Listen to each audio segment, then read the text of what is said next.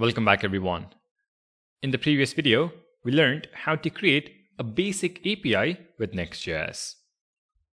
In a typical production application though, you might have to fetch data on click of a button, submit data on click of a button, or even delete data on click of a button. In this video, let's focus on fetching data on click of a button. That is, how to make a GET request with API routes. Now for our examples, we are not going to set up a database as that would become a distraction in itself. We are going to keep it very simple and maintain the data in memory. So the data basically is lost if you restart the application, but that shouldn't matter since our focus is primarily on creating API routes. Now, to respond to a GET request, we need some data to begin with. In the project root folder, I'm going to create a new folder called data. Within the folder, I'm going to create a new file called comments.js. This file basically contains an array of comments. For example, user comments on a YouTube video. I'm going to copy paste an array of three comments. Each comment has an ID and some text. Alright, now that we have the data to work with, we have two steps left to implement. For step 1, we are going to create an API endpoint that serves these comments. So in the API folder, I'm going to create a new folder called comments. Within the folder, I'm going to create a new file called index.js. Since this is an API route, we export a default handler function which receives request and response as parameters. So export default function handler request response. From this function, we need to return a JSON of all the comments stored in the data folder. So res.status of 200.json and the data we are returning is comments. Now VS Code added the import statement for me, but if it didn't for you, make sure to include it.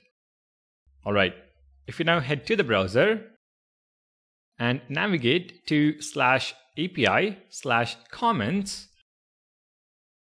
we should see the array of comments being returned. Our API works as expected. Now for step 2, let's create a page which loads this data on click of a button. In the pages folder, I'm going to create a new folder called comments.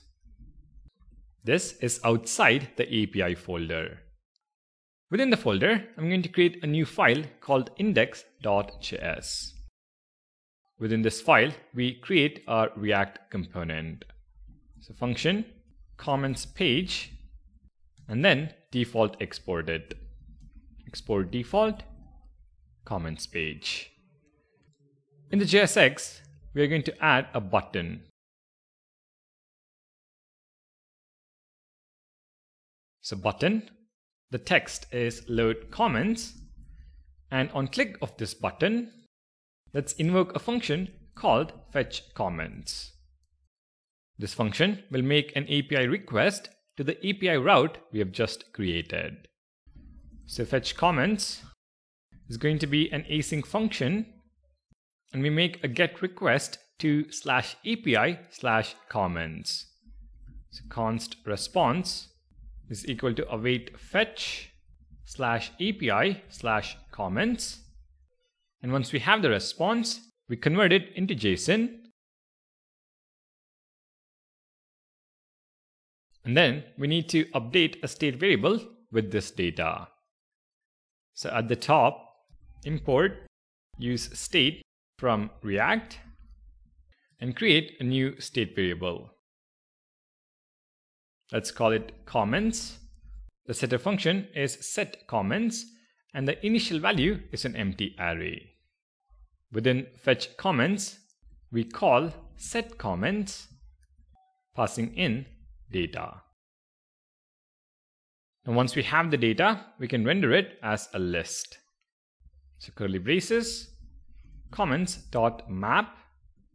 For each comment, we're going to return a div tag where the key is comment.id and we render comment.id followed by comment.text. And that is pretty much it. Let's save the file and head to the browser. I'm going to navigate to localhost 3000 slash comments. This reflects the JSX from the component we have just defined. If I click on the load comments button, an API request is made, the data is fetched and rendered in the UI. We have implemented both the front end and the back end side by side. And if you ask me, this is really impressive. So handling a GET request in your API route is pretty simple since it is the default verb for our handler. But how do we handle a POST request? Well, let's take a look at that in the next video.